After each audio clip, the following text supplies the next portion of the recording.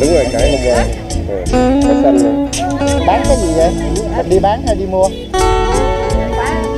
Không bán không mua. Đi chơi thôi à. Vậy mới ngon á. Không bán là không mua nữa.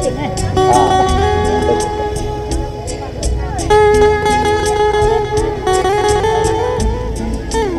không biết này là gì không. Không chắc không biết. Không không biết rồi cái chắc bảo đảm không không biết. Dân dân quê. À anh nấy không ra nằm ở phía đông bắc của tỉnh Lào Cai. Bắc Hà từng là lãnh địa của hai cha con thổ tiên người Tày, Hoàng Yến Chao và Hoàng A Tưởng, mà di tích ngày nay vẫn còn, đó là ngôi dinh thự của họ nằm giữa thị trấn.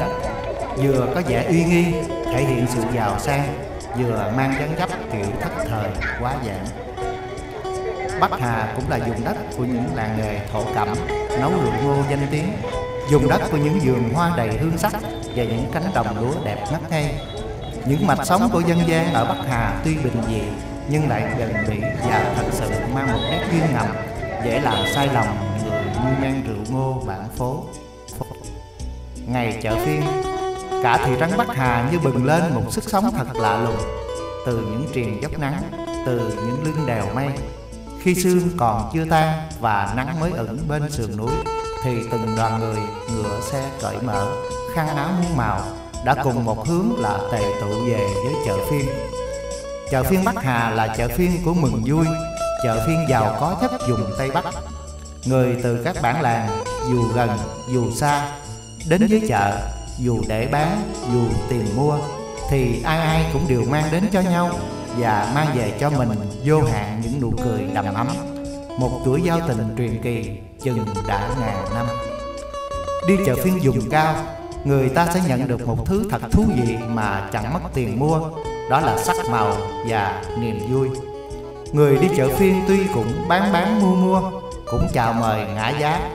Thế nhưng, chuyện dở ngon, rẻ đắt, lời qua tiếng lại chỉ cốt có cho vui, chỉ cốt bày tỏ lòng nhau, cốt cho thỏa cái tình thân của người với người sau nhiều ngày cách ngăn xa vắng.